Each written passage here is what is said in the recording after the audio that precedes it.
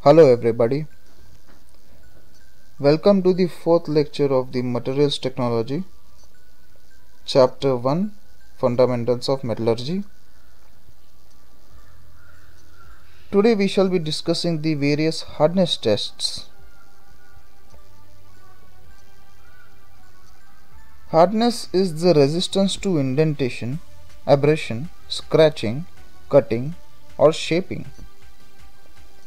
The hardness of a material is a complex property and depends upon other properties such as grain size, yield strength, tensile strength, ductility, resistance to abrasion, etc.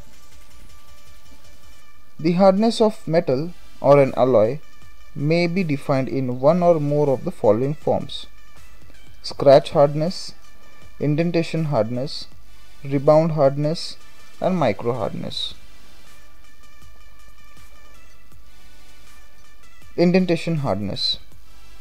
It is the resistance offered by metals to indentation. It is more commonly used test.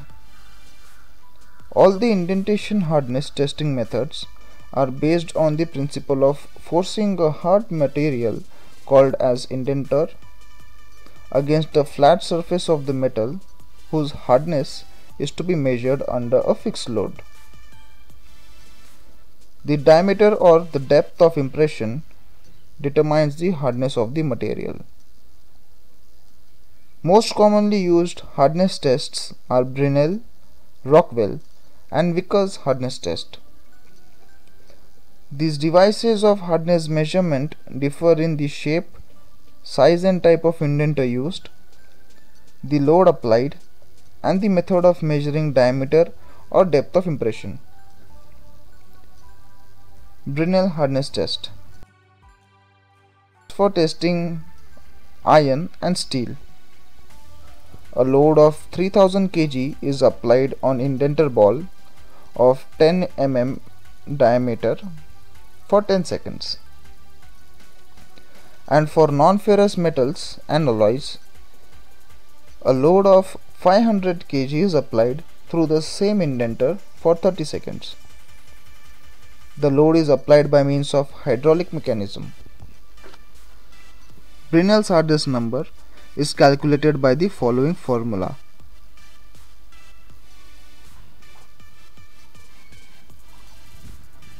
Rockwell hardness test.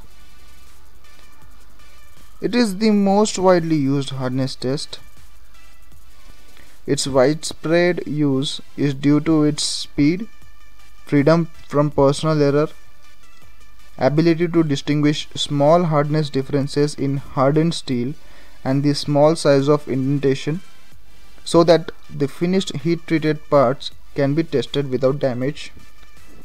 It is very similar to Brinell test but in this case the machine measures the depth of impression rather than the diameter. The hardened steel ball or a carefully ground diamond cone is used as an indenter. Two sizes of balls are used 1.5 mm and 3 mm. The diamond cone is ground to an angle of 120 degrees. The softer materials are usually tested on B scale and the hardness values are written as RB. A hardened steel is tested on the C scale and the hardness number obtained is written as RC. Rockwell A scale is generally used for hard materials, especially sintered carbides produced by powder metallurgy.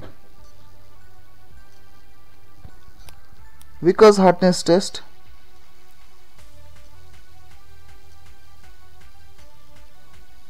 It is very similar to Brinell test. In the Vickers machine, the indenter is diamond pyramid having four sides. The angle between the opposite sides is 136 degrees.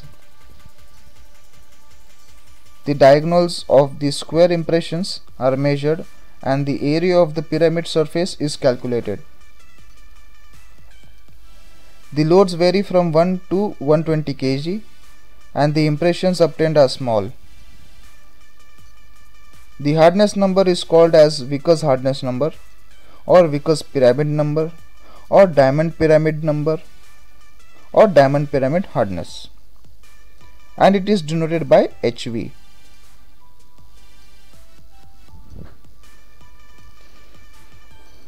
VPN and BHN are almost identical up to 300 numbers.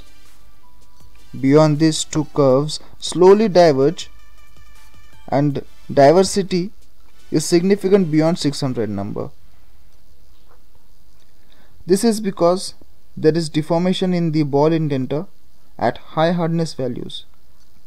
Due to this, Brinell test is not recommended for testing materials of hardness above 400 number. That is it for today's lecture.